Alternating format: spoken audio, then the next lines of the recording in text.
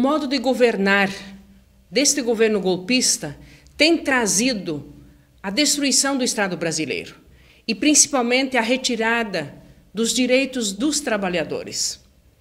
A forma de resistência da sociedade civil organizada tem se manifestado de diversas formas, seja através do movimento sem terra ocupando latifúndios em terras de corruptos, seja na mobilização dos produtores rurais e caminhoneiros, que ocorre há mais de semana na esquina de Tapes, seja na maior mobilização de estudantes que ocorreu nesta semana em Porto Alegre.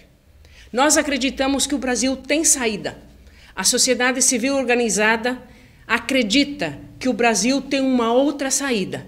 Para isso, acompanhe a nossa entrevista de hoje com o nosso convidado especial, Milton Viário, da Federação dos Metalúrgicos do Rio Grande do Sul.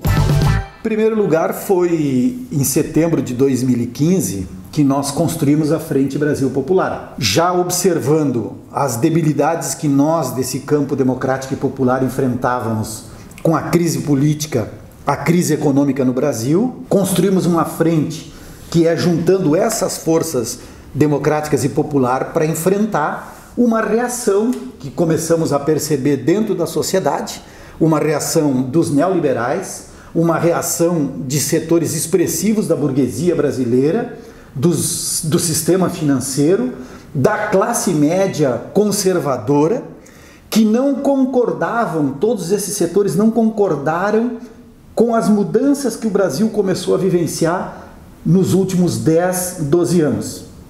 Diante da crise que se instalou no Brasil, nós presenciamos o golpe, o golpe político que retira uma presidente legitimamente eleita, e presenciamos imediatamente posterior, e agora se agrava cada vez mais, um processo, na verdade, de retirada de direitos da população brasileira, como, por exemplo, o congelamento do orçamento público da saúde e da educação por 20 anos, assim como as mudanças na legislação trabalhista assim como mudanças na legislação sobre a, a, a reforma agrária né, e a titulação das terras. Nós percebemos que nos últimos dois anos, nós, dos movimentos sociais desse campo democrático e popular, tivemos uma atuação muito defensiva, tentando defender contra o golpe, tentando defender contra a retirada dos direitos, mas nós percebemos que é necessário, nesse momento, nós também construirmos uma plataforma de reivindicações. O que nós queremos reestabelecer no Brasil e o que gostaríamos de é, reestabelecendo uma, uma nova ordem no Brasil, econômica, política, social, a gente possa avançar daquilo que conquistamos no Brasil.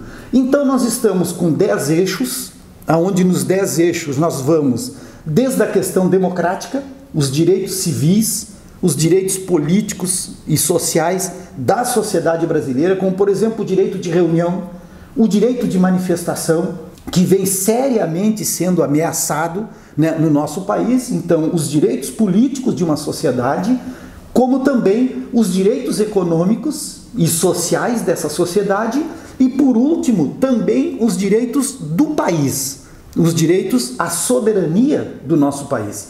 O nosso país está perdendo soberania, está perdendo presença internacional e está perdendo a capacidade de decisão, inclusive sobre o nosso território e as riquezas do nosso território.